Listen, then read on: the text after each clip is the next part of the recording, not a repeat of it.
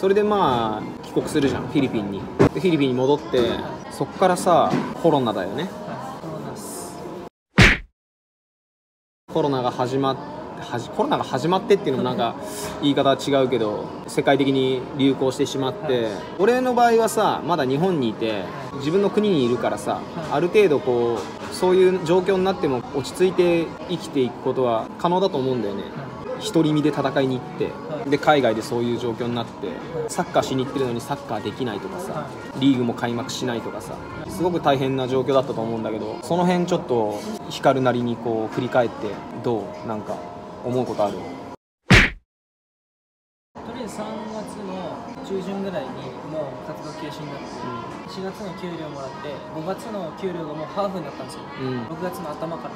自分の誕生日ぐらいの時からオーナーからもう文が送られてきて活動休止する。本当に申し訳ないけど活動休止するってなって、うん。お金とかもストップするって。ストップするし、チームがもうなくなりますそんなこと言われたらもうどうしようもないじゃないですか、うん。でそこから練習が始まったのが10月とかからなんで、うん。3ヶ月か4ヶ月間間もう無給でした、うん。そういうのも初めてだったんで、うん。給料未払いとかありましたけど貯金があったんでその給料もらってお金を使うことがなかったからお金の面は大丈夫だったんですけどでもやっぱり不安じゃないですか。うん。家の家賃とかはどうなってたの？家の家賃はもうは自分で払って自分で払ってたの？もともともともと払ってました。じゃあ本当にどんどんお金が減ってく。状況でまあ不安しかなかったですよそのお金の面と今シーズンサッカーができるのかどうかっていうところは不安でしかなかったですけど、うんその期間に結構いろんなことを始めれたっていうのもありますし、うん。でいろんな人と結構出会えたっていうのもあるんで、自分が発信する中で、うん。それに共感してくれたりあとはまあ自分がそのリフティングとかした時になんか自分もできたよって言ってなんか動画とか送ってくれる子たちとかいて、うん。そういうつながりができたりして、うん。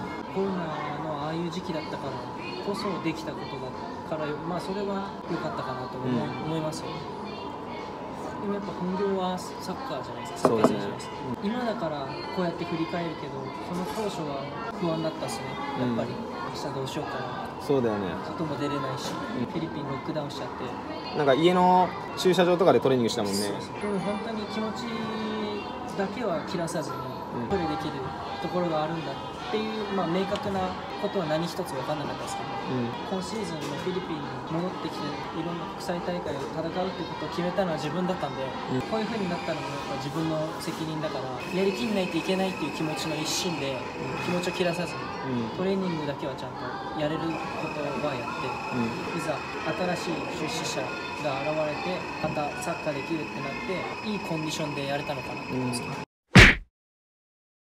じゃあ3月ぐらいから練習なくなってはでチーム活動しませんってなったのが5月。はい。でそこからチームの活動が再開した練習がもう一回始まったっていうのはいつぐらい？どれぐらいの期間何もできなかった？9月かなからようやく練習始まるようになってそれもなんかグループトレーニングでしょ？全員じゃないでしょ？グループトレーニングで。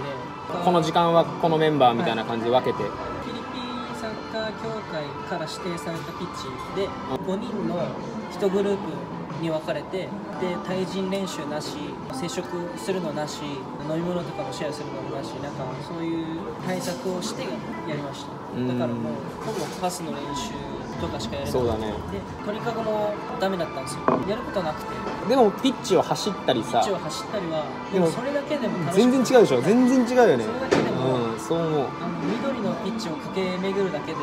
パスしてるだけで自分の居場所はここだみたいなちょっとホッとする感じですよね。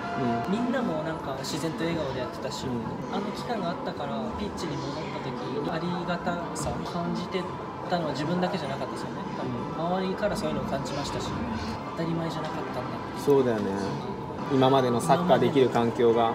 コロナとか関係なくコロナがなる前からもうピッチに立ったら100%でやるっていう意識はありましたけどより一層悔いの残らないぐらい本当に100%やんないといけないしサッカーを楽しまないとなっていう気持ちになりましたねあの期間は。うん。めちゃくちゃもう楽しかったですけど。そしたらその期間を経て練習も再開してでリーグがまあ再開するってなったけど「